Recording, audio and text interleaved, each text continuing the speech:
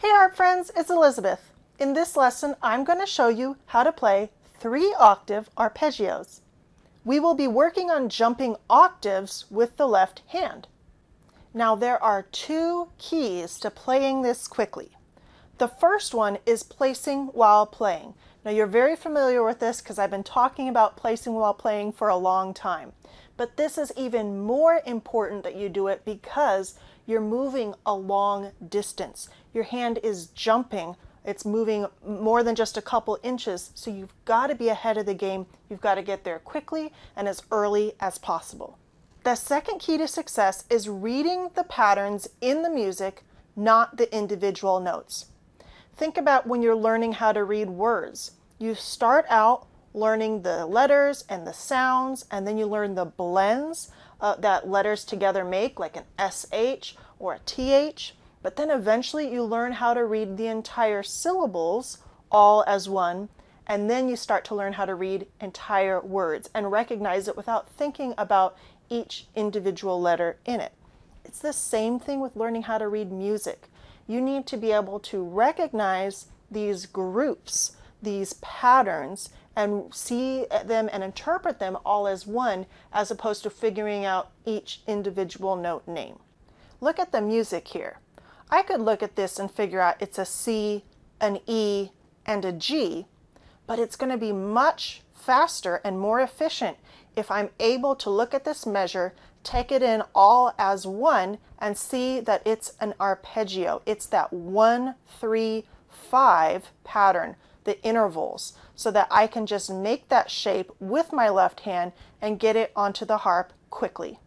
Because of muscle memory, I'm able to open my hand and land on those notes as opposed to figuring them out one at a time.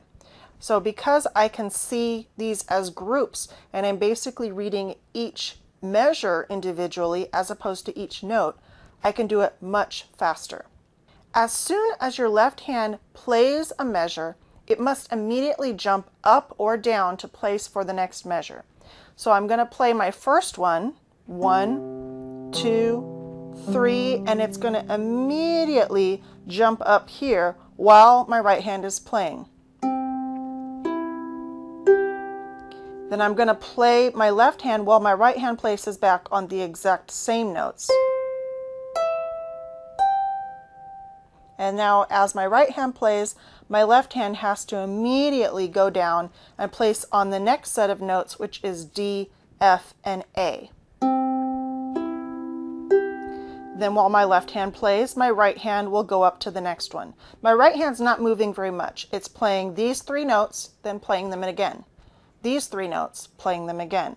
It's a very small movement. The left hand is here, here, here, here.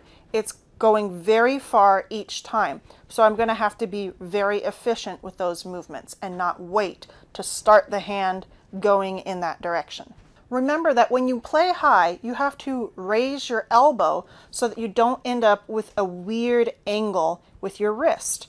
When my left hand goes up that high, if I don't raise my elbow, it'll look like this. And I won't be able to play very well. It'll be bad hand position. I'll have bad sound it'll be tense versus if I raise my elbow, I'm able to keep my wrist and my fingers at the same angle, no matter if they're playing down here at the bottom or playing all the way, way up here at the top that I can barely reach because I've got my hand pretty much in my face here.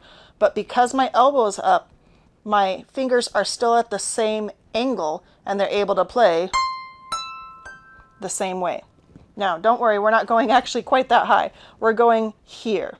But they are going to be going up each time. So by the time we reach our final one, it is going to be and then we're going to play that C to end it. So let's play through some of this together. Notice that our tempo marking is a dotted half note. So I did not put a number for the quarter note, even though we have quarter notes. I put 70 for the dotted half note. That means every three beats or every measure is going to be 70 beats per minute. Now I could have written this using a quarter note. I could have said quarter note equals something, but it would have been pretty fast. So dotted quarter note equals 70 to basically uh, change that into a quarter note to transfer it, we would just have to do a little bit of math. So a quarter note, there's three quarter notes and every one dotted half note. So I will take that number 70, multiply it by 3, and that'll give me my number, my beats per minute for the quarter note. Well, 70 times 3 is 210. Yes, a metronome can beat 210 beats per minute, but it's going to be very, very fast. And even though it's the same tempo, you're still playing at the same speed. You'll play the notes at a certain tempo. It's going to feel faster to you. When you hear 210 beats per minute, it raises your heart rate, it raises your adrenaline. You start feeling, oh, this is really fast. I don't know if I can keep up with this. Versus when you only hear one beat for every measure or 70 beats per minute, it doesn't feel as fast and it's not likely to get you nervous or get your heart rate up.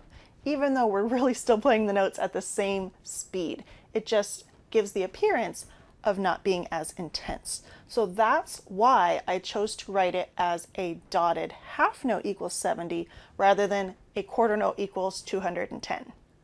This is 70 beats per minute. One, two, three, one, two, three, one, two, three, one, two, three. It's pretty fast. We're going to be playing this pretty quickly. One, two, three, one, two, three, one, two, three, one, two, three. Now, that's not how fast you have to play it right now. That's our goal or our performance tempo. Now let's listen to what it sounds like if I have it clicking 210 beats per minute. This is 210 beats per minute. It's the same speed. One, two, three, one, two, three, one, two, three, one, two, three. It's the same as what I played, but it sounds a lot more intense. It's going to make you more nervous when you have it clicking that many times. So that's why I recommend if you're using a metronome, try to keep it between at least 60 beats per minute, but no more than say 150 beats per minute. Remember, if you're getting less than 60 beats per minute, try subdividing or having it click on those half beats. So if I was playing this one, oh. Two, three, that's really slow. So I might have it count one, and two and three and hearing those ands helps me keep the beat and feel where it's going to be. The same way, if I'm playing a lot of notes really fast, I don't have to click every single one. I don't have time to say one and two and three and one and two and three. And I'm going to run out of breath. I'm going to hyperventilate. But if I can just say one, two, three, one, two, three, even that might be hard. So I might go one, one, one, one. So if you're only counting fewer beats, you're not going to run out of breath as much and it's not going to raise your heart rate. So keep that in mind when you're choosing your tempos. When you're watching the videos that I have provided for you where I'm playing the piece or the exercise slow, medium, and fast, you may notice sometimes there's extra beats on those slow ones. Sometimes by the time you get to the fast video, there's not as many beats. It's not because something has changed, it's just that that's the number of beats that's going to best help you play the piece at that tempo. One more note on this piece. It is only going up. I don't have you doing that exercise going back down. So look at the last line from measure 25. We're on B, one, two, three, one, two, three, one, two, three, one, two, three. And then C is a little different. One, two, three, one, two, three. And then it's going to end with this second finger on C.